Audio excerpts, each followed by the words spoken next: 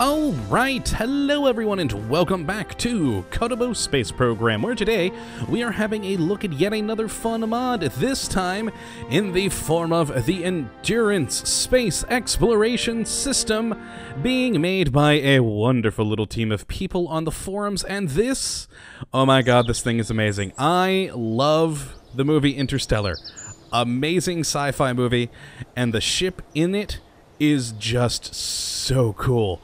And I knew it was only a matter of time before a group of people actually got together to make it properly in Kerbal Space Program.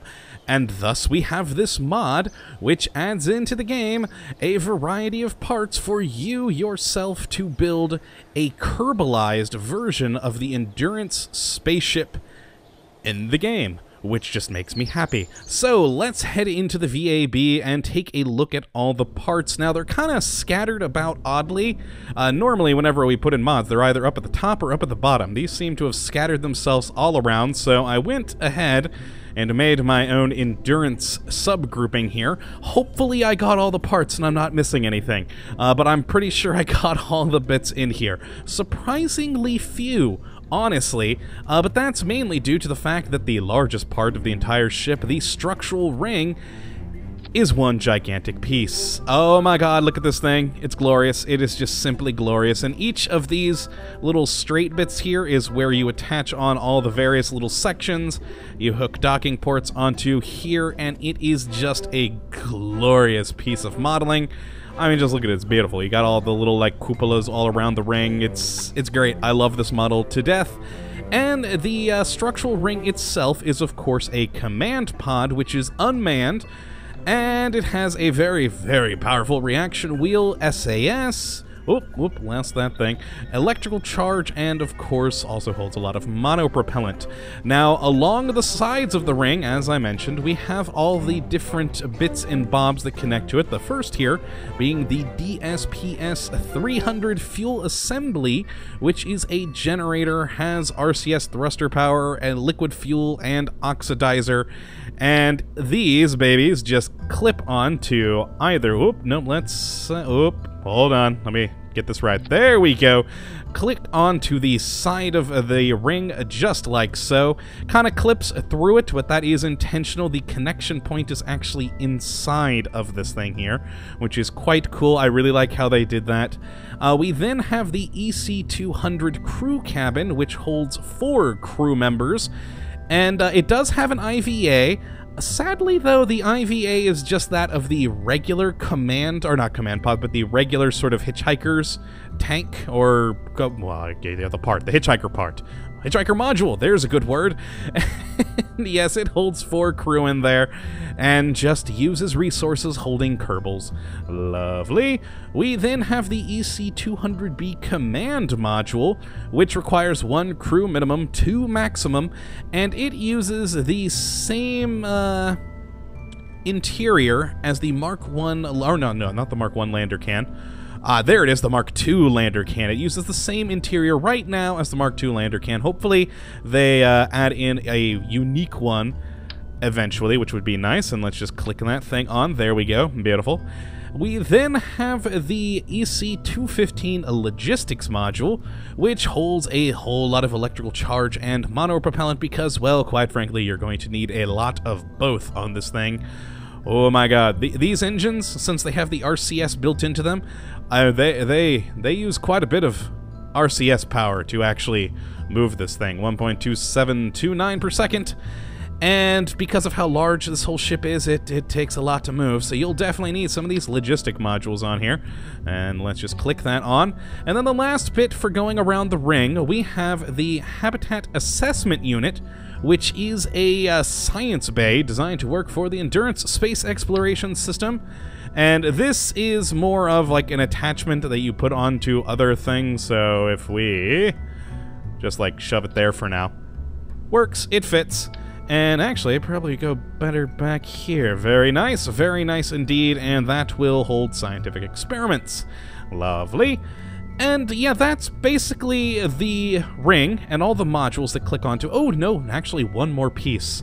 Another part about this fuel assembly is the fuel assembly module. Also has this internal space, which you can use to pop on the engine. There we go. We have the lovely Endurance Deep Space engine, which has 650 thrust, 800 engine ISP, and notice that it's, uh, you know, quite a lot of liquid fuel oxidizer and a whole lot of electrical charge. And it's it's beautiful. It, it is a glorious engine, extraordinarily powerful, just fits right on in there. And also we have these little internal bits as well, which you can put these different science modules into, if I can actually... Oh, with my... Oh, there we go. We it, put it into that one. kind of off kilter, but oh well, it is there. And uh, I'm hoping, I'm hoping in the future that maybe they add in more little modules to hook into these. I think it'd be quite cool to have a variety of things for it. That would be very nice. But yes, put together and you sort of alternate these around the ring, and it does look gorgeous and very, very fitting for the actual ship in the movie. Now, the next part we have is the lander, and the lander is an interesting beast. It is made up of, let's, oh god, what would be a good way to pop this on? I know, we'll do this. Just hook it right there, and that is a glorious, a glorious little lander. It, of course, does also serve as a command pod, and it holds a crew of four, and the intention of this is, well, a lander, to uh, leave the ship and then land on a planet. And the fun part is assembling this whole ship in space. We'll get to that in a little bit out of these landers, etc. And the lander itself, uh, you know, typical command pod, it does have a custom internal view, which is very cool. Quite a nice little powerful engine, 450 max thrust, 3450 ISP and burns quite. Whoops! Accidentally clicked off. There we go. Burns quite a bit of liquid fuel and oxidizer, and uh, does produce some good electrical charge. Very good. It does have its own internal generator, 100 per tick. Very nice.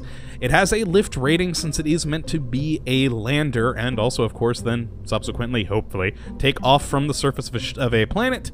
Uh, it has a reaction wheel, very nice. SAS, electrical charge, its own internal liquid fuel oxidizer and monopropellant.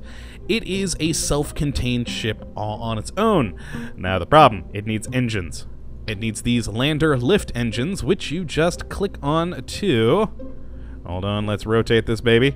There we go. You click on to each of the four little uh, engine bits there. Now, its rear engines are already sort of built in.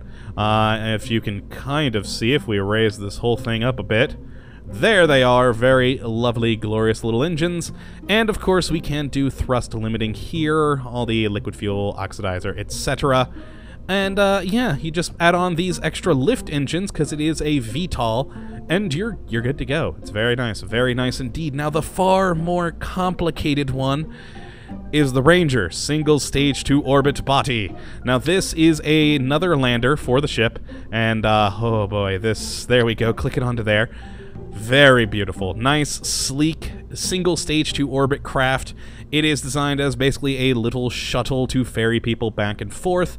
It also does have an internal view, uh, but it's it's oh boy, it's it's an interesting craft because this one, unlike the lander, actually requires a crap load of parts. We have the rear Ranger aerodynamic surface, which if we click on there, we have the forward left gear, which I'll just kind of randomly click there. Oh, very, very wonky. We then have a right gear that does the same on the other side. We then have the Ranger front RCS, which clicks there, the Ranger lift engine for single staged orbit, which actually goes where I attached it to the ring, uh, but that is a little engine you just click onto the main body. Uh, we then have the Ranger rear left engine, and also a right engine. we have more, folks. We have a lot more. We have the Ranger middle RCS, which goes in this uh, middle bit here. There we go. They fit right on either side. It's into one piece. We then have the Ranger rear RCS. So many parts which fit into the back. Oh god, I oh no, I think I'm supposed to be down here. Hold on, hold on. this takes a bit. I had to assemble this on my own earlier. It was hell. I'm just going to click it in randomly, but that's the rear RCS, and then we have the rear landing gears, which both fit into... Oh god, let's grab it. These little slots here, which I accidentally put the rear RCS into, but you have to put one landing gear on each side, and it's it's fun and painful to put together, but my god, when it is put together, it is glorious. And thankfully, though, the mod itself does in fact come with these pre-assembled to maintain your sanity. So let's take a look at the fully assembled Endurance, which of course is the main ring with all of the little bits. And actually, I mentioned earlier that I'm hoping they add in more of these modules to the back. Right now, we've just got it full of science modules. And actually, I, I, don't have full confirmation on this, but I do believe they are hoping to do more with these because the lander, one of the coming soon features is the ability to uh, carry cargo modules. So hopefully we get more than just the science module down the road, because, uh, you know, maybe some habitat modules to put on the planetary surface. So you can actually use this baby to colonize. But yes, look at it. It is glorious. Just a giant endurance ship. Then we also have, if we go to the space plane hangar bit, the fully built lander, which is far, far easier. So, so easy to put together. Now, of course, it has attached onto it some docking ports, some RCS, uh, but the only parts from the mod are the main body itself and these little lift rockets, making a glorious little lander. And then, oh boy, my favorite, favorite thing that they added in, the fully built Ranger stock. That is what it looks like when fully, properly assembled. Oh god, so many pieces to go into this thing. And here you'll see that little lift engine we talked about, the small little landing gears in the back. Uh, the rear engines, rear RCS, middle RCS, front RCS, uh, these landing gears, it's just, oh god, so many pieces, so many pieces to make it, but it's gorgeous, and I love it. Uh, so if we actually exit out of here, I spent the last hour getting all of these into space so that we could actually have a fully assembled Endurance, which, wow, I haven't even gone to the tracking center yet on this new save file. So if we go to here, I've got a crapload of Kerbals in space, and as I said, a fully assembled, oh god, Endurance with two landers, here we are. The full ring, two landers, and a ranger in the front. We actually could have fit another ranger in the bottom one. I It took me forever to realize that these little angled docking ports are specifically for the ranger because the ranger does have a uh, sort of slanted rear where its docking port is. And so you end up having to go to these uh, top and bottom ports so you don't have the ranger sitting off at an angle. it took me far longer than I'd like to admit to actually uh, figure that one out.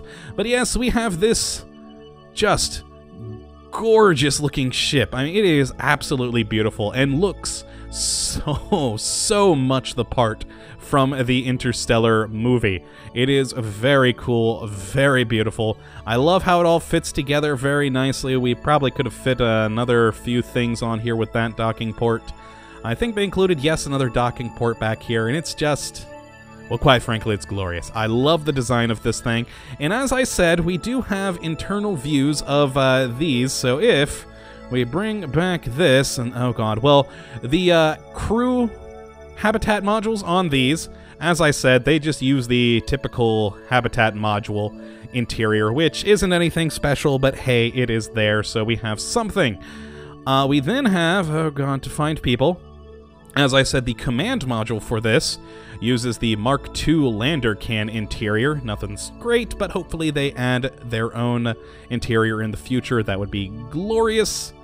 Uh, we then have, I believe, these guys are in the Ranger. So if we go to Danfield, yes, he is in the Ranger uh, are not the Ranger, the Lander. We've got these lovely front windows. The bottom is also glass as well as the top. It does have built-in support for the uh, raster prop monitor. I do not have that installed, but if you did, you would see lovely glass cockpit panels right here. But uh, as I don't have it installed, we have blankness, just absolute blankness and a lovely, lovely set of crewmen in here. If we head back out and take a look at one of the guys in the rear, Ah, yes, there we go. We've got everyone inside. A nice spacious interior cabin for one of these landers. Very cool indeed. I love the detail put into it. Very nice. I like how they didn't try to go too realistic. They definitely Kerbalized this whole thing, which, you know, actually makes it feel like it fits in this game. And then lastly, we have uh, these guys in the Ranger, which is similar in style to the Lander's cockpit, but a bit more flat. No uh, floor glass panels that we can see through. Uh, we do have the nice ceiling ones, though. A nice good bit of visibility compared to the Landers. They have much smaller windows in the front. These are much larger. So you have a lot more good visibility uh, all around you, and it is just glorious. Let's go to the one of the guys in the back. There we go. Nice, spacious interior. We can see the ring outside, and it's just great. I, I love this thing. It is just so beautiful. And let's actually charge up the engines, because these are very, very powerful engines. And oh god, I didn't mean to turn on those. Hold on, throttle down. let's turn this back on real quick. Uh, shut down engines. shut down engines. Oh god, I've got to do it individually for these. That that wasn't good. I almost ripped apart this entire thing. Oh, God. There we go. All those engines are shut down, so we should just be able to throttle up. These are wobbling a bit much for my like. Oh, God, there's the... Oh, the lander engines.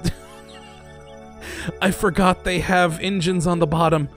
Oh, God, so many, so many things I forgot to shut down. oh, well. That could have gone much better. I, I wasn't I was hoping I wouldn't rip this whole thing apart, but that may be asking much from me. Let's turn off all of these and actually go and use this full-on interstellar engine real quick cuz well, it is a glorious and powerful engine. So there we go. We should just have the four interstellar drives. And ah, uh, look at it, it is just gorgeous. We are pulling away from the planet slowly but surely, and we are at a very, very wonky position. How is our orbit actually going? Quite nicely. Quite nicely indeed, and we actually count as a space station. I like it. I like it. But yeah, we're uh, growing a nice apoapsis there. Very good indeed. But yes, these engines are just beautiful. I absolutely love them. I love this entire ship design. It is simply gorgeous, and being a fan of the Interstellar movie, I love it. So if you would like to go and check this out for yourself, you can just take a look at the description on the video, and uh, there you will find the download link. And uh, yeah, I hope you do go and check this out, because, well, again, I can't say it enough times. This thing is gorgeous, and you should go and play around with it. Go colonize other planets with this baby. Hopefully, once they add in the cargo capacity for the landers, you can actually take these down to Duna, etc., and build bases. That'll be wonderful. But yes, I hope you have enjoyed this video, and of course, that you come back for the next. But until then, thank you for watching, my friends, and as always, have a good one.